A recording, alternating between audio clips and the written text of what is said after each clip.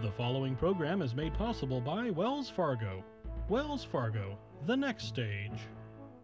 It took an uprising of people throughout San Mateo County to say no to the road that would bypass the treacherous and unstable Devil's Slide and to push for a tunnel instead. 17 years later, the tunnel has opened, and we talked to two of the key leaders who roused rabble and got all of us to think tunnel. The game is politics, the game is on.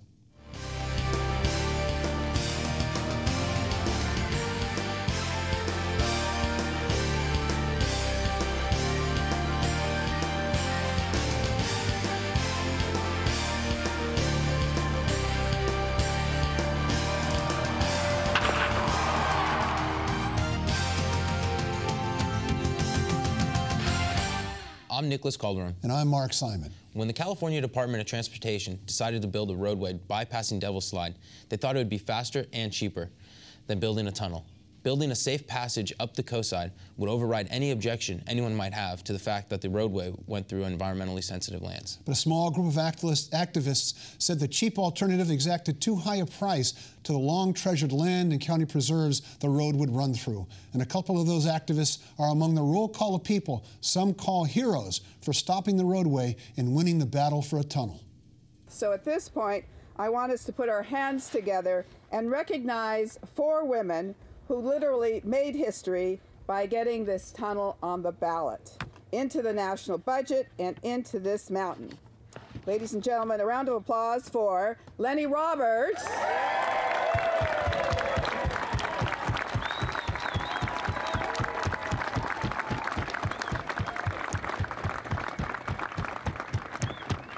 Zoe Kersteen Tucker.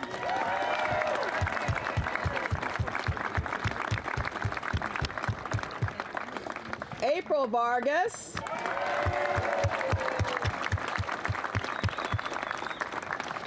And Senator Barbara Boxer. Lennie Roberts and Zoe Kersteen Tucker, two of the leaders of the uh, effort to get us to think tunnel, build tunnel, and finally open tunnel. I, I, skipped the vote tunnel part. The Tom Lantos tunnels at Devil's Slide. Both of you, thank you for being here. Thank you. Um, start with tell us, Lennie, why we had to have a tunnel. Why not a bypass road? And why did we need to do something at Devil's Slide?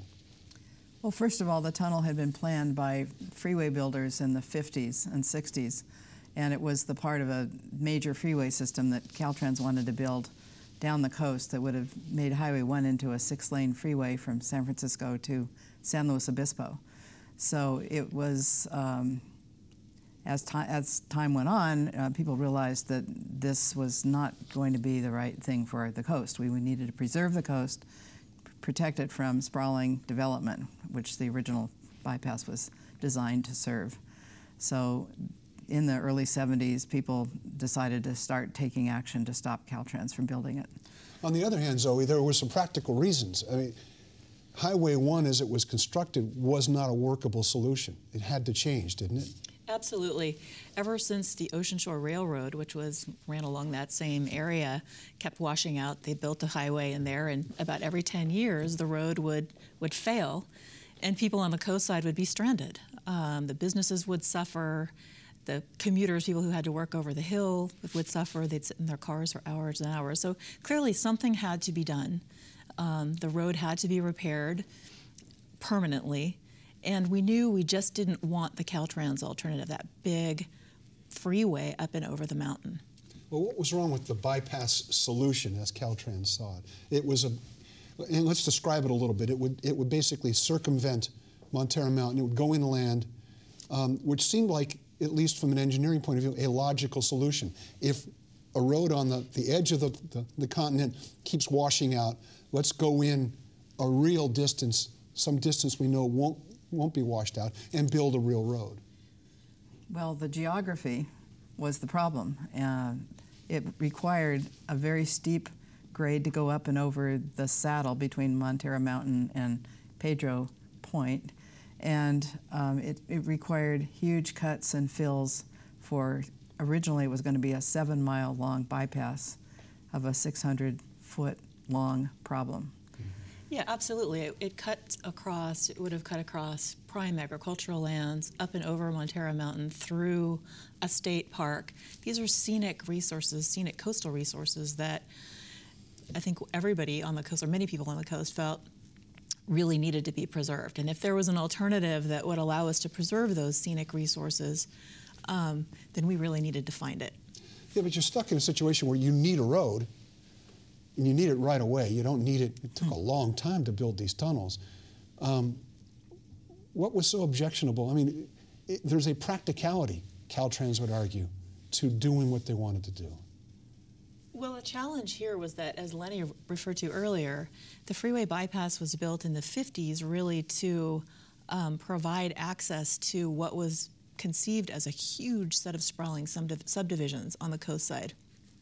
I think the original plans were for something like 200,000 people living in this very rural area. And over time, you know, those plans changed. You know, the, the growth pattern changed on the coast, and we no longer no longer needed this gigantic freeway. We didn't have those same development plans. So having something that was scaled more appropriately to the development um, I don't know, the development picture on the coast was, was more appropriate. So, so if I may, um, you know, the tunnel, uh, we're going to jump forward a little bit.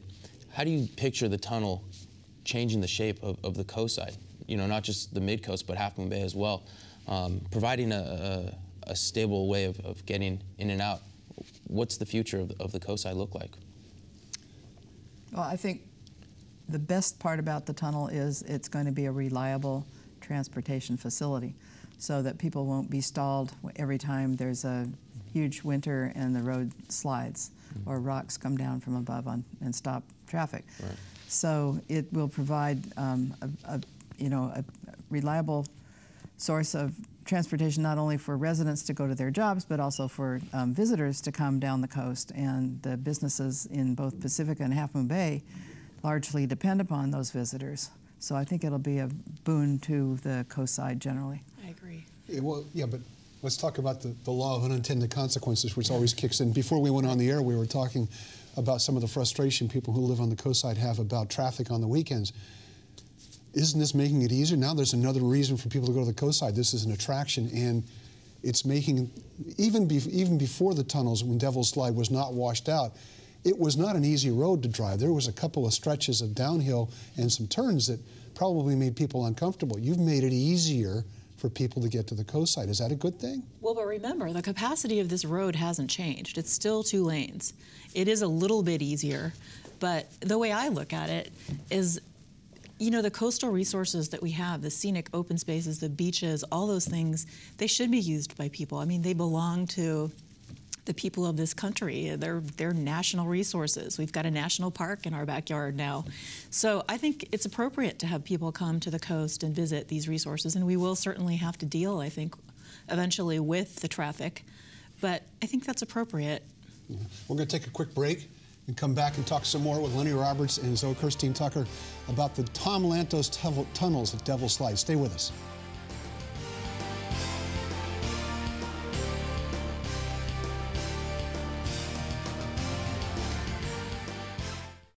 It's been over 150 years since Wells Fargo first opened for business. Since then, we've enjoyed your community support, and we're passionate about returning it. Every day, Wells Fargo team members roll up their sleeves and donate their time to organizations and charitable groups throughout the Bay Area. Nationally, we've committed even more. In just the past two years alone, we've donated over $70 million to support schools and educational programs. It's a commitment we're proud of. Wells Fargo, the next stage.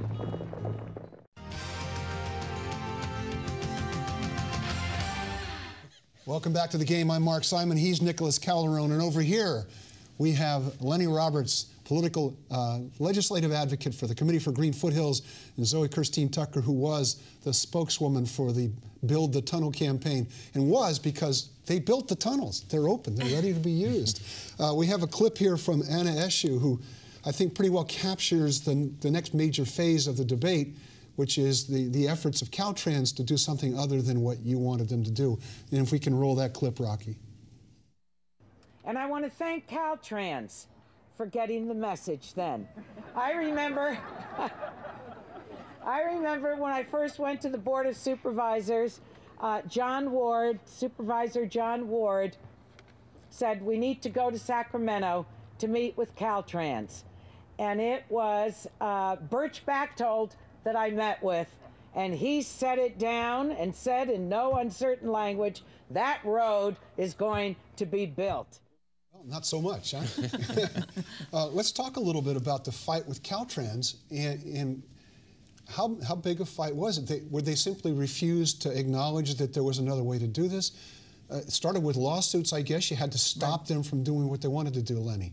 Yes, in 1972, uh, the Committee for Green Foothills, Sierra Club, uh, several other organizations and individuals went to court to stop Caltrans, which, and they were Caltrans was just about to start building the bypass.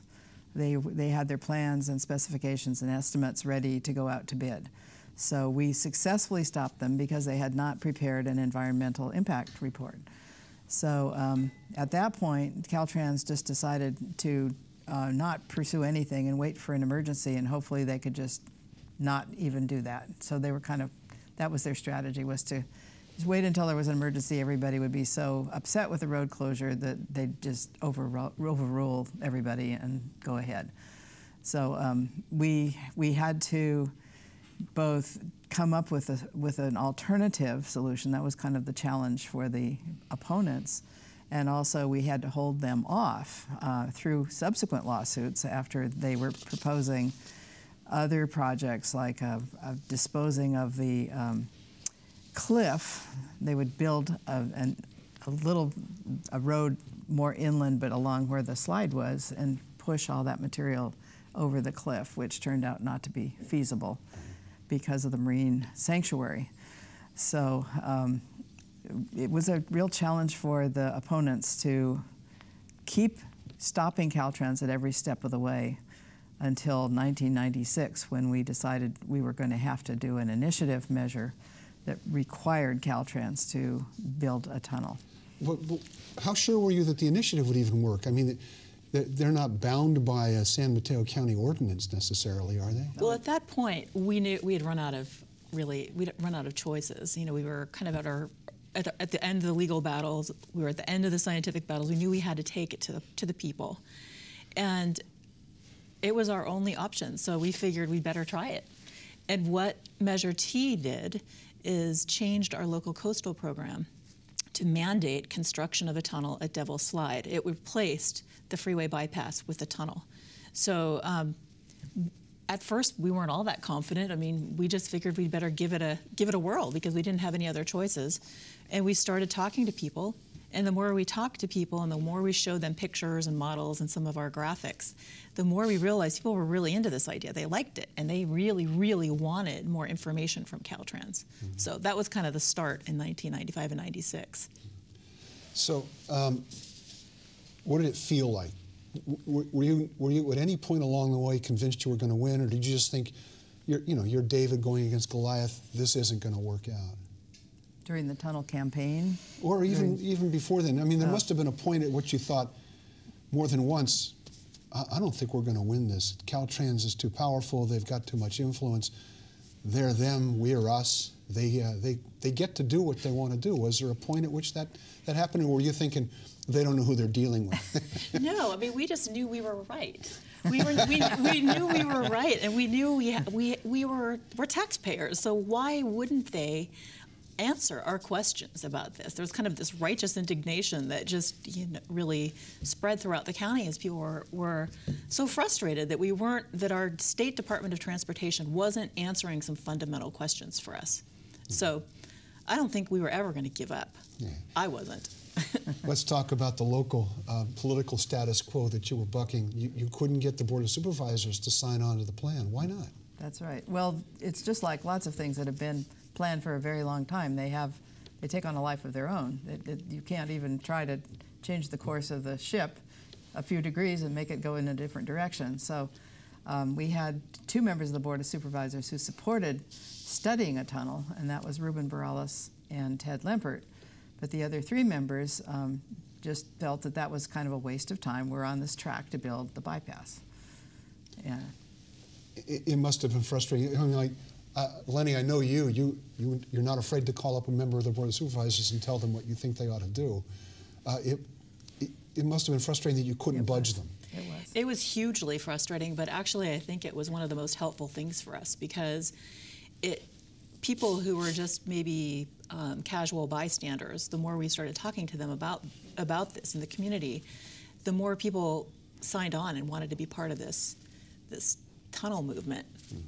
So it was kind of helpful actually to have you know such a, a strong opposition from the board of supervisors. Once the measure got on the ballot, their opposition, uh, what did they go, ran, ran silent and ran deep. I mean, what happened?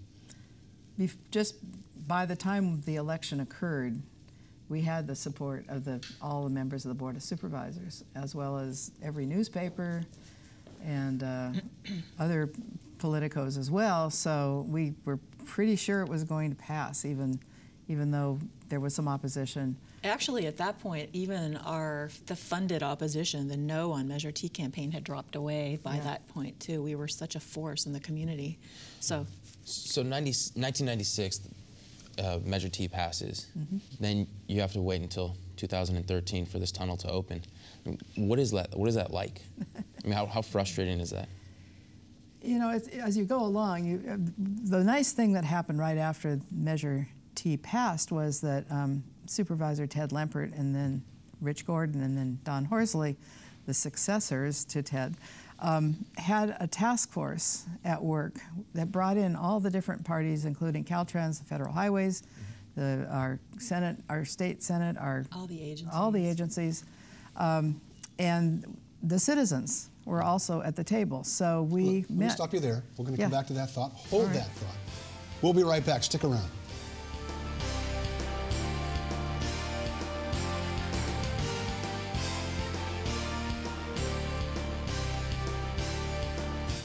It's been over 150 years since Wells Fargo first opened for business. Since then, we've enjoyed your community support, and we're passionate about returning it. Every day, Wells Fargo team members roll up their sleeves and donate their time to organizations and charitable groups throughout the Bay Area. Nationally, we've committed even more. In just the past two years alone, we've donated over $70 million to support schools and educational programs. It's a commitment we're proud of. Wells Fargo, the next stage.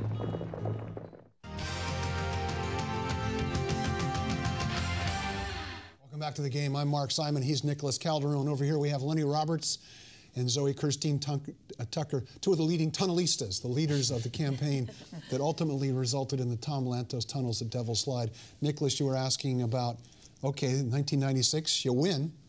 Uh, you don't get to declare victory, though. What, we're talking about what took so long, uh, because it took a heck of a long time.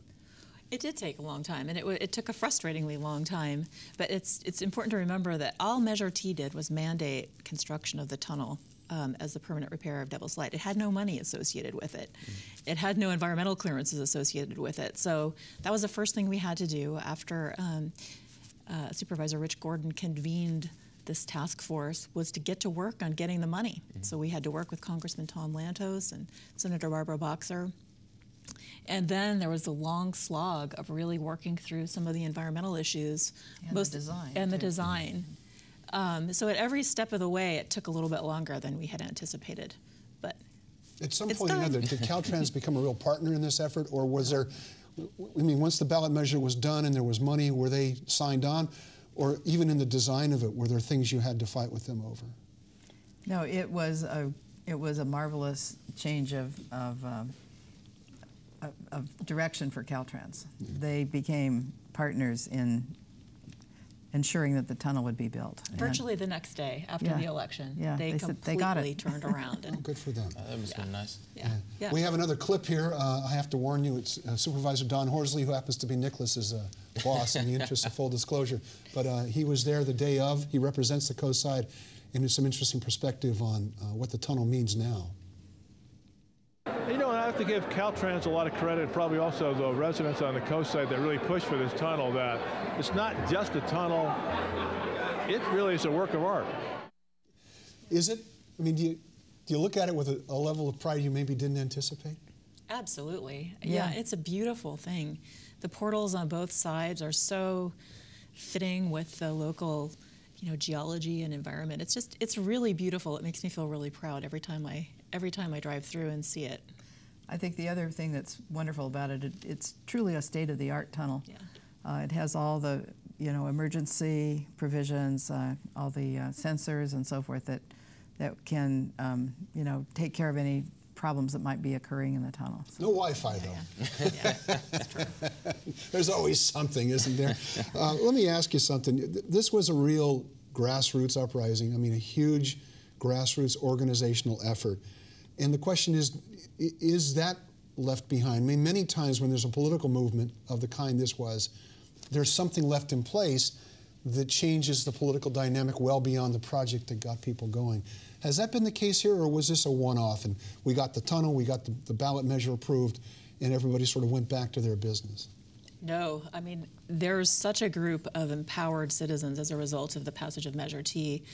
Many of us went on to fight a number of other battles, which have been important along the way, um, to extend the Mid Peninsula Regional Open, State, pa- Open Space District boundaries to the coast, Quarry Park.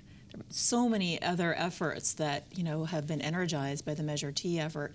Not to mention the Committee for Green Foothills, which continues on, you know, its wonderful work in the on the peninsula and on the coast side. So So, so the, the tunnels are open. Everyone's happy about it. You said you've gotten to drive through it, you know, almost every day. Um, after the tunnels are now, now that they're open, there are two things that are left remaining, which is the old road and then the, the proposed route for the bypass. What do you guys see as um, the future for those?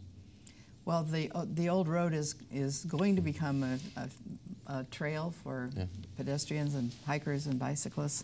So that will not open for about another year, but San Mateo County is going to be working on making sure that trail is a wonderful experience, and Caltrans is going to be building the um, parking areas and staging areas at both ends. Then the old bypass route, um, part of it will become part of McNee Ranch State Park, and then the part that's to the south uh, still has to be planned and um, uh, and, and the planning idea is that it will be, become a linear park and a trail.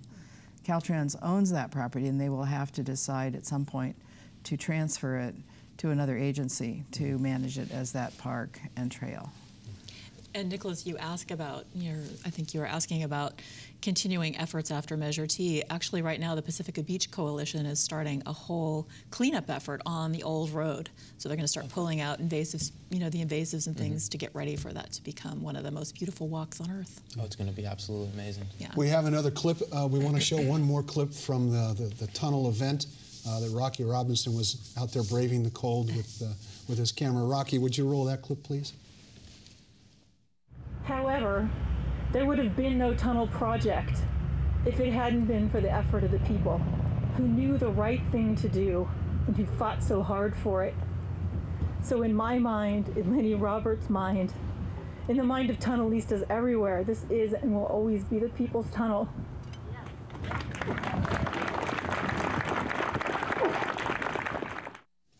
How does it feel? I mean, we, Lennie and I were talking uh, before the show. So many things that people work on of this nature are never quite finished. I mean, we talked in Nicholas's question about things that still need to be done, but uh, it's rare to, to start something, start a fight, and have it result in something tangible. How does it feel? I mean, you've been in a lot of battles over the years. This- And this one is, I've been involved in this one since 1972.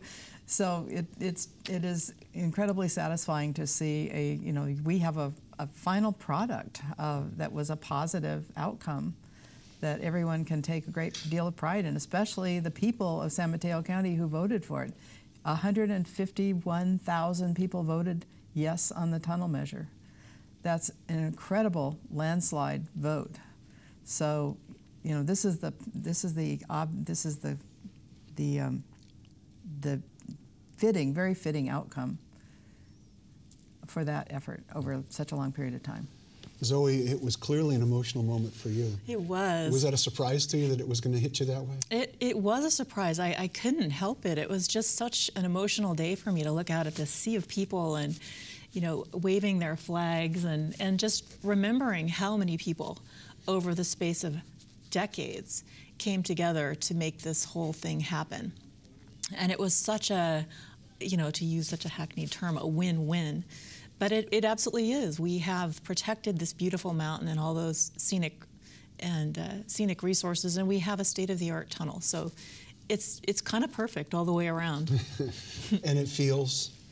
It feels beyond satisfying. It just makes me feel incredibly proud to have been part of this effort, to have worked with so many dedicated and passionate citizens, and it's, it's very, very, very satisfying.